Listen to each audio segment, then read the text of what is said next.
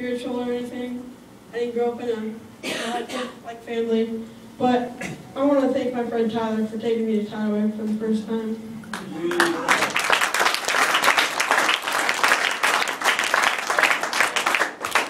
Changed the life, buddy. Changed the Is that it?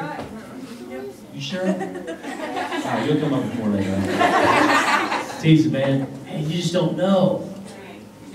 You never know. Just inviting somebody to the tidal wave. That's that's kind of the whole concept we have. We just said, you know, let's just let's let's have a place that people walk in and say, cool. And that's it. That's all we said. Let's let them walk in and say, cool. And I've, I've a lot of cools over the last few years.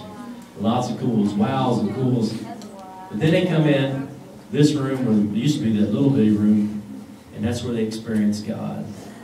But I said this so many times, we want you to experience God from the first time you step on the bus till you leave. Experience God when you're eating a hot dog. Experience God when you're playing pool. Amen? Amen. Anybody else want to testify?